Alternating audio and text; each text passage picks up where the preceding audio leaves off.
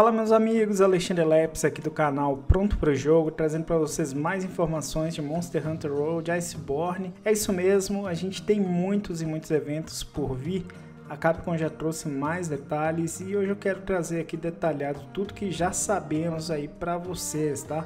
Se vocês já estão jogando Monster Hunter World Iceborne, se preparem porque a Capcom está fazendo um belíssimo trabalho até então. Beleza? Então é isso. Lembro ainda que essa semana deve rolar aí o sorteio da versão Master Edition de Iceborne e também de The Legend of Zelda Link's Awakening. Se você ainda não está participando, é só conferir aí o primeiro link na descrição, tá galera? Então vamos lá, o que, que tem por vir aí, Leps, de tão bom? Tá, algumas dessas coisas com certeza vocês já sabem, né? Capcom ali pro meio de setembro, ela lançou um mini roadmap do que está por vir e já dava para ter uma pequena noção e agora a gente já tem mais alguns detalhes, algumas coisas bem interessantes, tá? O primeiro grande evento e a primeira grande atualização de Iceborne já chega essa semana. É isso mesmo, Rajang, a fera, está por vir. Ele chega no próximo dia 10 de outubro, mais precisamente quinta-feira dessa semana. E o mais legal é que vem um grande update também para o jogo que foi confirmado aí. Agora uma nova área lá para as terras guias, né? Vai ter uma área vulcânica Consequentemente, devemos ter novos monstros lá, materiais exclusivos dessa área, e isso é bem interessante, tá? Eu não esperava, era algo que eu realmente não esperava ver a Capcom fazendo, que é trazer aí update de mapas nos updates gratuitos assim logo de início, tá? Então isso é muito bom e com isso a gente pode esperar inclusive no futuro uma área também de gelo, né, de Hoarfrost, ali nas Terras Guias. Acredito que deve acontecer sim e deve vir novos monstros com isso também. Então, ótima notícia essa grande atualização aí e um belo trabalho para esse início da expansão, né? Lembrando que ela foi lançada há mais ou menos um mês, né, no dia 6 de setembro de 2019, e a Capcom já está trazendo um grande update agora no primeiro mês, tá? Então fiquem ligados, preparem a build de vocês, que essa batalha com Rajang vai ser bem interessante. Pelo que eu entendi, vai ser uma missão especial, tá? Então, Behemoth, que se vocês lembram, foi aí um evento especial. O Lich também foi um evento especial. E pelo que eu entendi, também o Rajang vai ser uma, uma missão especial, tá? Provavelmente a gente já vai fazer uma livezinha aqui no canal, retornando com as lives. Já faz um tempo que eu não faço live aí, correria tá grande, mas a gente vai fazer live sim do Rajang eu tô bem animado, tá pessoal? Outra coisa que já está confirmado nesse mesmo update é que agora vai ter ali uma atualização no quarto, tá?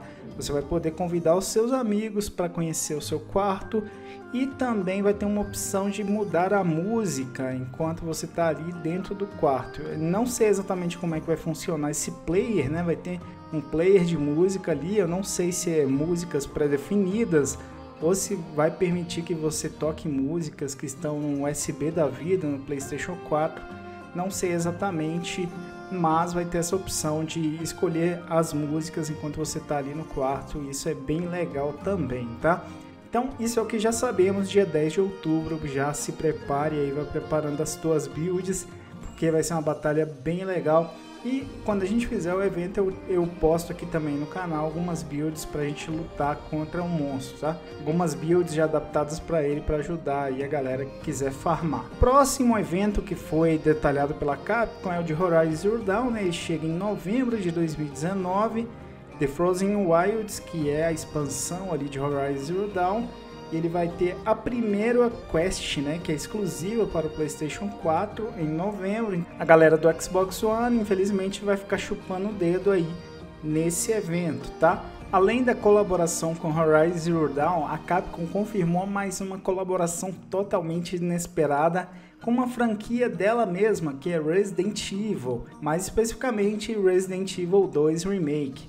É isso mesmo, teve um trailer novo mostrando o Leon e a Claire eles estarão vindo aí para Iceborne, tá? Então vai ter armadura em camadas para você poder utilizar esses personagens, vai ter alguns pingentes exclusivos, pelo que eu pude entender, acho que vai ter um pingente da Stars, vai ter um pingente do modo Tofu também, que é mostrado no finalzinho do trailer, vai ter ainda pelo que parece, uma HBG, né? Acho que o Leon tá usando um HBG ali. E a Claire, eu não sei exatamente que arma que ela vai estar. No, no finalzinho do trailer, ela estava segurando um martelo, mas eu não sei se vai ter alguma arma exclusiva dela. Muito provável que sim. E o Mr. X parece que vai substituir aí a assistente, né? O que ficou bastante zoado, o pessoal deu risada pra caramba.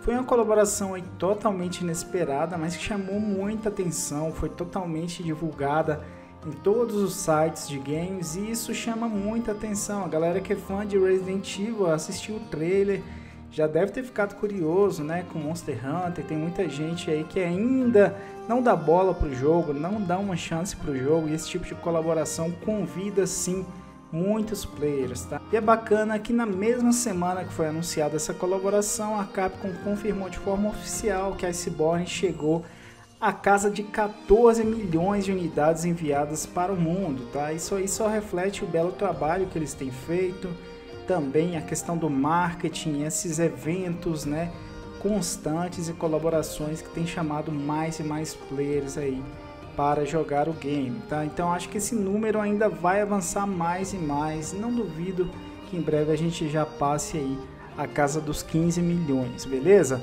Então esse é o segundo evento que vem para novembro e dezembro a gente tem mais eventos aí já confirmados, tá? Vai ter a continuação de Horizon Zero Dawn, vai ter as quests 2 e 3.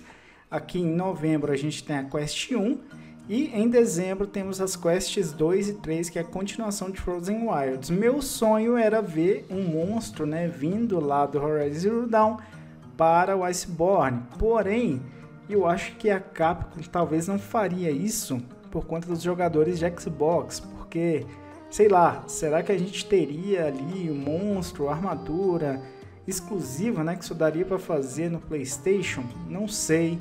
É algo aí que poderia chatear a comunidade, tá? Então acredito que isso aí não vai rolar não. Por que, que eu tô falando isso? Porque em dezembro tá confirmado que vai ter um novo monstro já.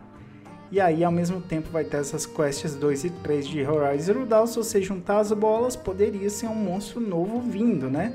Já que é uma colaboração grande, pelo que dá a entender, faria sentido se viesse um monstro de lá, assim como teve no Final Fantasy XIV, assim como teve na colaboração com The Witcher seria legal também. Mas ao mesmo tempo, como eu falei, isso poderia chatear a comunidade Xbox, então acho meio improvável. Mas se acontecer, sei lá, eu, eu ficaria feliz porque faz total sentido ter um monstro vindo de um, de um jogo que é de caçadas e que tem muitas e muitas similaridades com Monster Hunter, tá?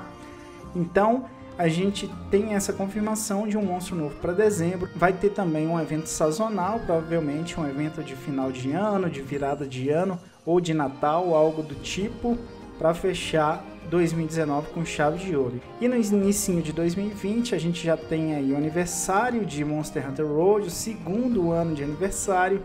Vai ter mais atualização e mais eventos confirmados ainda não definidos, né? A Capcom nesse ponto aqui fala para a gente apenas ficar de olho que no futuro vai ter updates e deve ter coisa boa aí para comemorar esse segundo ano de aniversário, tá? Quem sabe até lá a gente já não comemora também esses 15 milhões de vendas. Beleza?